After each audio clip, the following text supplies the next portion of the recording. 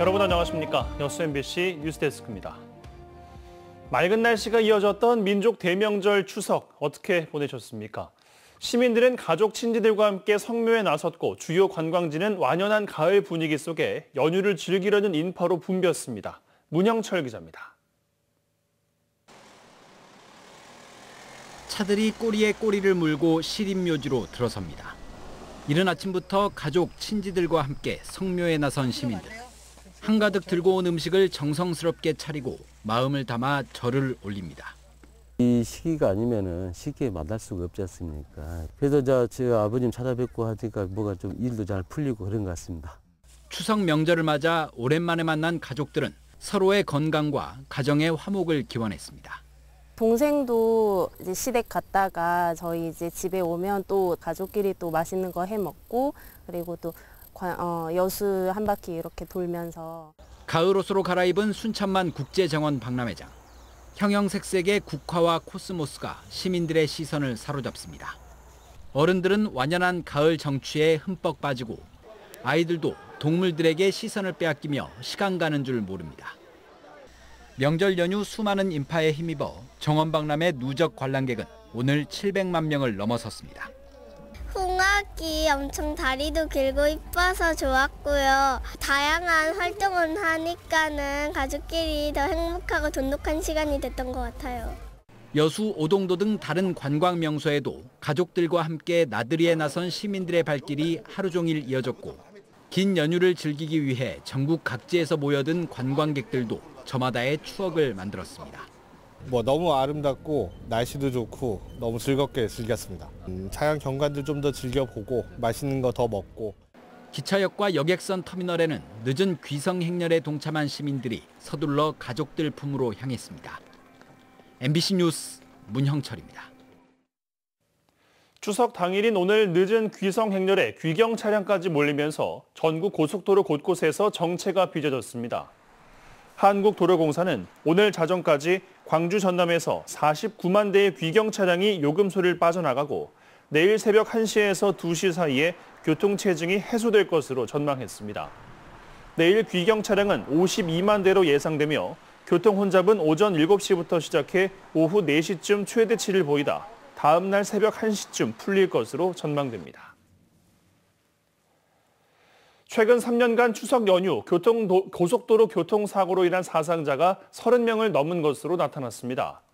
민주당 김병욱 의원이 한국도로공사에서 제출받은 자료에 따르면 지난 2020년부터 지난해까지 추석 연휴 고속도로에서는 57건의 교통사고가 발생했으며 이로 인해 7명이 숨지고 24명이 부상을 입었습니다.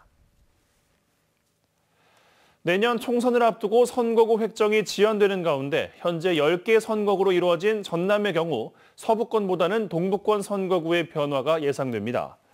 지역 정가에서는 인구가 감소하고 있는 여수는 현재 두 개인 선거구가 합쳐지고 인구 상한선이 넘는 순천은 단독 분구 가능성을 전망하고 있습니다. 한편 인구 하한선에 미달하는 해남, 완도, 진도와 영암, 무안, 신안의 경우에는 특례 선거구를 도입할 의미가 없어 합분구 대상에서 제외될 가능성이 높다는 관측도 나오고 있습니다. 환절기가 되면 목이 칼칼하고 기침하는 분들 많으시죠? 흔히 목감기라고 불리는 인후염을 방치하면 중이염이나 폐렴으로 이어질 수 있어 적극적인 조치가 중요합니다. 허연주 기자입니다. 목포의 한 이비인후과. 목이 따갑고 음식을 삼키기 힘들 정도로 통증을 호소하는 사람들이 최근 늘었습니다. 감기가 굉장히 심해, 심해가지고 여기 편도 많이 붓거든요. 목이 심, 심하게 아프고 답답하고 가슴까지 아프니까 흔히 목감기라고 불리는 인후염은 바이러스와 세균 감염 등으로 염증이 발생하는 질환입니다. 코로나19 방역 지침 완화로 마스크 착용이 해제된 후 호흡기 감염증이 늘고 있는데요.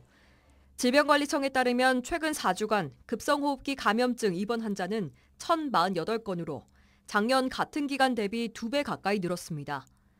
특히 환절기에 급증하는 인후염은 감기 증상이 없어도 목에 이물감이나 헛기침이 심하고 고열과 두통 등의 증상을 동반합니다.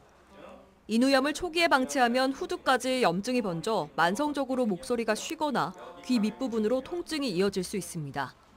그렇다면 어떻게 예방할 수 있을까요? 건조한 공기가 기관지에 자극을 주기 때문에 무엇보다 충분한 수분 섭취가 중요합니다. 젖은 수건을 널거나 가습기로 50%에서 60% 적정 습도를 맞추는 것도 도움이 됩니다. 뭐 흔히 말하는 뭐 비타민 C라든지 뭐 피곤하지 않게 하는 거, 그 다음에 또 가장 이제 흔- 흔하면서 못 지켜주는 건 이제 담배들 많이 피우시는 거, 그거 조심하시면 됩니다.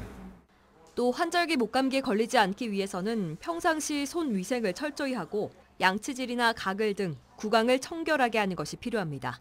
MBC 뉴스 허연주입니다. 추석 연휴 셋째 날인 내일 전남 동부 지역에는 새벽부터 이른 아침 사이 곳곳에 빗방울이 떨어지겠습니다. 이후 오전에는 대체로 흐리다 오후부터는 다시 맑은 날씨를 보이겠습니다. 낮 최고 기온은 24에서 25도로 오늘보다 2에서 3도가량 낮겠습니다.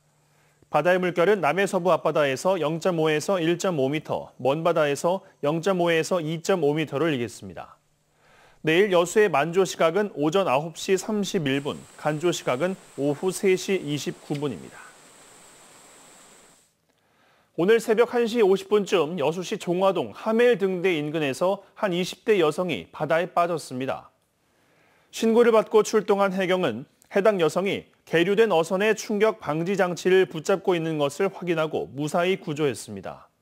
해경 조사 결과 여성은 술에 취한 상태에서 어선에 올라갔다 물에 빠진 것으로 드러났습니다. 광양 지역 기업들이 4분기 경기를 부정적으로 전망했습니다.